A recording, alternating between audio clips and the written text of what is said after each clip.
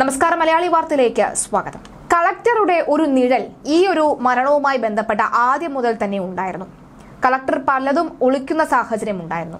എവിടെ എന്ത് പറയണമെന്ന് വ്യക്തമായി കളക്ടറിനറിയാം പക്ഷേ പലതും മറച്ചു വെക്കുന്ന സാഹചര്യം ഉണ്ടായിരുന്നു.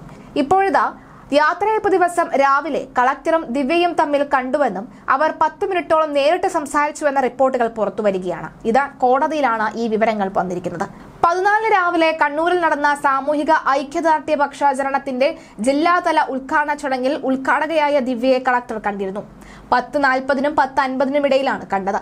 അപ്പോൾ ദിവ്യ നവീൻ ബാബുമായി ബന്ധപ്പെട്ട വിഷയം കളക്ടറുടെ ശ്രദ്ധയിൽപ്പെടുത്തിയിരുന്നു. നിങ്ങൾക്ക് വല്ല പരാതിയോ തെളിവോ ഉണ്ടോ എന്നാണ് കളക്ടർ ചോദിച്ചത്. വ്യക്തിപരമായ വിഷയത്തിൽ നേരിട്ടറിവില്ലാത്ത കാര്യത്തിൽ കേൾട്ടുകേൾവിയുടെ അടിസ്ഥാനത്തിൽ മുന്നോട്ട് പോകരുത് എന്ന കളക്ടർ ദിവ്യയെ ഉപദേശിച്ചു എന്നാണ് മൊഴി.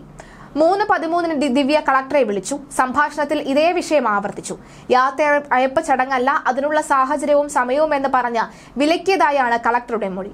യോഗത്തിൽ പങ്കെടുക്കാൻ ദിവ്യ വരുന്നതിനെ നിരുത്സാഹപ്പെടുത്തി എന്നിട്ടും അവർ എത്തി മൂന്ന് ഇരുപത്തിയഞ്ചിന് യാത്രയയപ്പ് പരിപാടി തുടങ്ങി. മൂന്ന് നാൽപ്പതിന് ക്ഷണിക്കാതെ ദിവ്യ ചടങ്ങിനെത്തി. മൈക്ക് ഓണാക്കി പ്രസംഗം തുടങ്ങി. യാത്രയയപ്പ് ദിവസത്തെ സംഭവങ്ങളെക്കുറിച്ചുള്ള കളക്ടറുടെ മൊഴി ഇങ്ങനെയാണ്. ഇതിന് അതിക്രമിച്ചു കയറിയലിന്റെ സ്വഭാവം സ്വഭാവമുണ്ട് എന്നും വിലയിരുത്തലുണ്ട്. ജില്ലാ പഞ്ചായത്ത് പ്രസിഡന്റ് പ്രോട്ടോകോൾ അധികാരം ഉപയോഗിച്ചായിരുന്നു ദിവ്യയുടെ ഇടപെടൽ. എന്നാൽ പതിനാല് രാവിലെ കളക്ടറെ കണ്ടപ്പോൾ യാത്രയയപ്പിനെ കുറിച്ച് സംസാരിച്ചിരുന്നു എന്നും പങ്കെടുക്കാൻ സമ്മതിച്ചിരുന്നു എന്നുമാണ് മുൻകൂർ ജാമ്യാപേക്ഷയിൽ ദിവ്യ പറഞ്ഞത്. ഡെപ്യൂട്ടി കളക്ടർ ശ്രുതി ക്ഷണിച്ച പ്രകാരമാണ് യാത്രയയപ്പിൽ സംസാരിച്ചതെന്നും പറഞ്ഞിരുന്നു. ഇതെല്ലാം കളക്ടറുടെ മൊഴിയിൽ തകർന്നു. വിശദവാദത്തിന് ശേഷം ദിവ്യയുടെ മുൻകൂർ ജാമ്യാപേക്ഷയിൽ വിധി പറയുന്നത് മാറ്റിവെച്ചു. ഈ മാസം ഇരുപത്തി ഒൻപതിനാണ് വിധി പറയുക.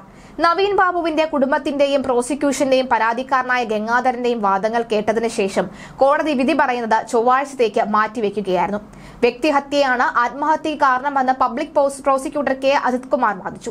ക്ഷണിച്ചില്ല എന്ന് കളക്ടർ പറഞ്ഞിട്ടുണ്ട് എന്നും വഴിയെ പോകുന്നതിനിടെയാണ് പരിപാടിയിൽ പങ്കെടുത്തത് എന്ന് ദിവ്യ പ്രസംഗത്തിൽ പറഞ്ഞിട്ടുണ്ടെന്നും പ്രോസിക്യൂഷൻ കോടതിയിൽ വ്യക്തമാക്കി. എന്താണ് പ്രോസിക്യൂട്ടർ റോൾ എന്ന് വിശദീകരിച്ചാണ് അജിത് കുമാർ വാദം തുടങ്ങിയത്. അതിഗംഭീരമായി തന്നെ തുടങ്ങി. ഇതിനിടെ അഡ്വക്കേറ്റ് വിശ്വൻ ഇടപെടലിന് എത്തുകയും ചെയ്തു. അതിനു മുൻപ് ഒന്നര മണിക്കൂർ വാദിച്ച് ചൂണ്ടിക്കാട്ടി കോടതിയിൽ അത് അനുവദിച്ചില്ല. ദിവ്യയുടെ വാദങ്ങളെല്ലാം അജിത് കുമാർ പൊളിച്ചെടുക്കുകയും ചെയ്തിരുന്നു.